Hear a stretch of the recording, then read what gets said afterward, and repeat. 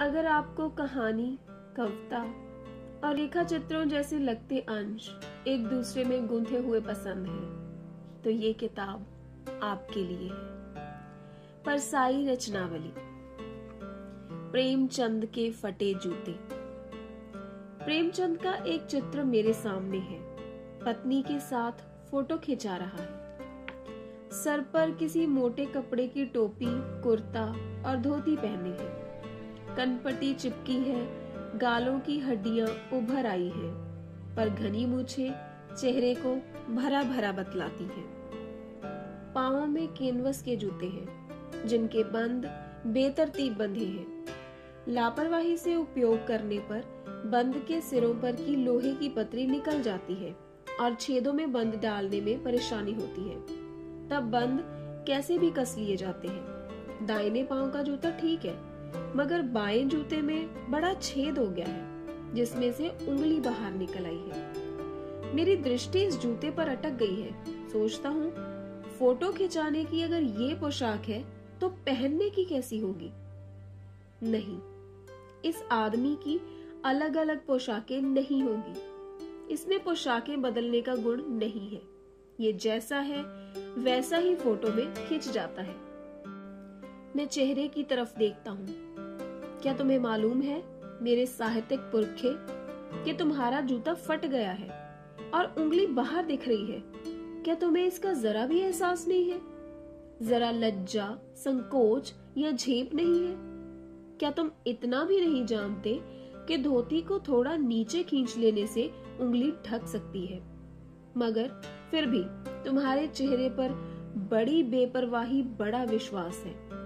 Photographer ने जब ready please कहा होगा, तब परंपरा के अनुसार तुमने मुस्कान लाने की कोशिश की होगी। दर्द के गहरे कुएँ के तल में कहीं पड़ी मुस्कान को धीरे धीरे खींचकर ऊपर निकाल रहे होंगे, कि बीच में ही क्लिक करके फोटोग्राफर ने थैंक यू कह दिया होगा। विचित्र है ये अधूरी मुस्कान। ये मुस्कान नहीं है, इसमें उपहास है, व्यंग है। ये कैसा आदमी है, जो खुद तो फटे जूते पहने फ़ोटो खिंचवा रहा है, पर किसी पर हंस भी रहा है। फ़ोटो ही खिंचवाना था तो ठीक जूते पहन लेते, या ना खिंचवाते। फ़ोटो ना खिंचवाने से क्या बिगड़ता था? शायद पत्नी का आग्रह रहा हो, और तुम अच्छा चल भाई कहकर बैठ गए। मगर ये कितनी बड़ी ट्रेजेडी है, कि आदमी के पास फ़ोटो खिंचवाने को भी जूता ना हो। मैं तुम्हारी ये फ़ोटो देखते देखते तुम्हारे कलेश को अपने भीतर महसूस करके जैसे रो पड़ना चाहता हूँ। मगर तुम्हारी आँखों का ये तीखा दर्द भरा व्यंग मुझे एकदम रोक देता है। तुम फ़ोटो का महत्व नहीं समझते? समझते होते तो किसी से फ़ोटो खिंचवाने के लिए जूते मांग लेते। लोग तो मांगे के कोट से वर दिखाई करते हैं और मांगे की मोटर से बारात निकालते हैं। फ़ोटो खिंचवाने के लिए तो बीवी तक मांग ली जाती है। तुमसे जूते ही मांगते नहीं बने। तुम फ़ोटो का महत्व नहीं जानते। लोग तो इतर चुपड़ कर फ़ोटो खिंचवाते हैं, जिससे फ़ोटो में खुशबू आ जाए। गंदे से गंदे आदमी की फ़ोटो भी खुशबू देती है। टोपी आठ आने में मिल जाती है। और जूते उस जमाने में भी पाँच रुपए से कम में क्या मिलते होंगे? जूता हमेशा टोपी से कीमती रहा है। अब तो जूते की कीमत और बढ़ गई। और एक जूते पर पच्चीसों टोपियाँ न्यौछावर होती है। तुम भी जूते और टोपी के अनुपातिक मूल्य के मारे हुए थे। यह विडंबना मुझे इतनी तीव्रता से पहले कभी नहीं चुभी। जितनी आज चुभ रही है, जब मैं तुम्हारा फटा जूता देख रहा हूँ। तुम महान कथाकार, उपन्यास सम्राट, युग परिवर्तक, जाने क्या क्या कहलाते थे, मगर फ़ोटो में भी तुम्हारा जूता फटा हुआ है।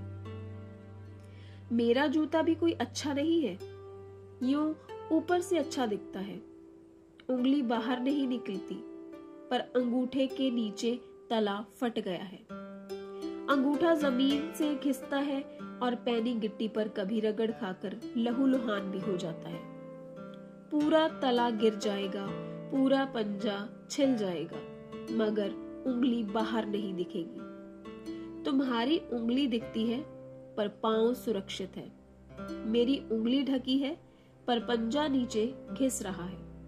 तुम पर्दे का महत्व नहीं जानते। हम पर्दे पर कुर्बान हो रहे हैं। तुम फटा जूता पहने बड़े ठाट में हो। मैं ऐसे नहीं पहन सकता।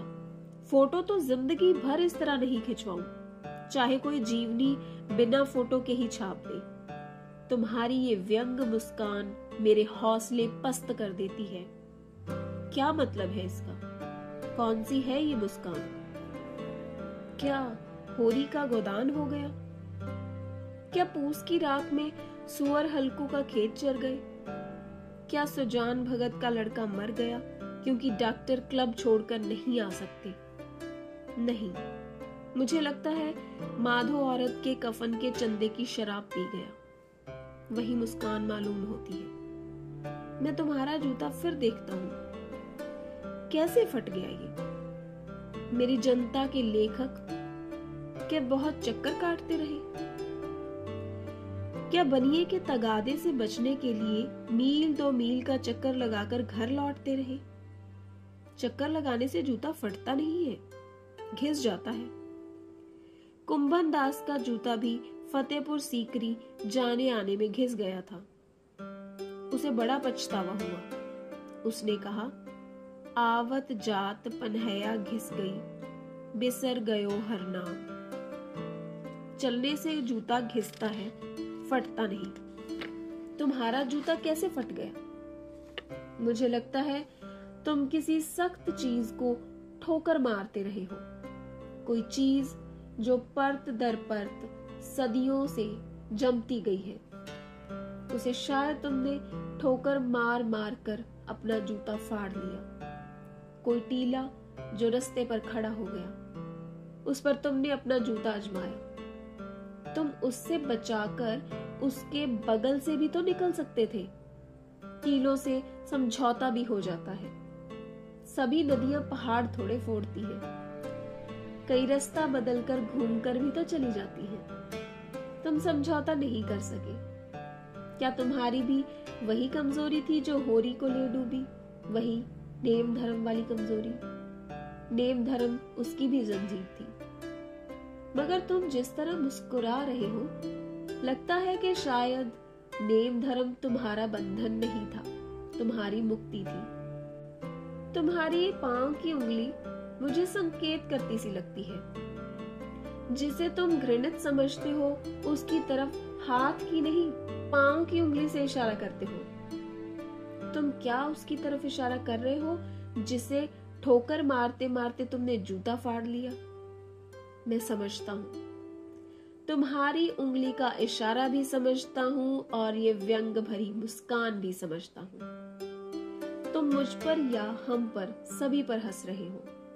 उन पर जो उंगली छिपाए और तलुआ घिसाए चल रहे हैं। उन पर जो टीले को बरकरार बाजू से निकल रहे हैं। तुम कह रहे हो, मैंने तो ठोकर मार मार कर जूता फाड़ लिया। उंगली बाहर निकल आई, पर पाँव बच रहा है। मैं चलता रहा, मगर तुम उंगली को ढांकने की चिंता में तलवे का नाश कर रहे हो। तुम कैसे चलोगे? मैं समझता हूँ। मैं तुम्हारे फटे जूते की बात समझता हूँ। उंगली का इशारा समझता हूँ। तुम्हारी व्यंग मुस्कान समझता हूँ।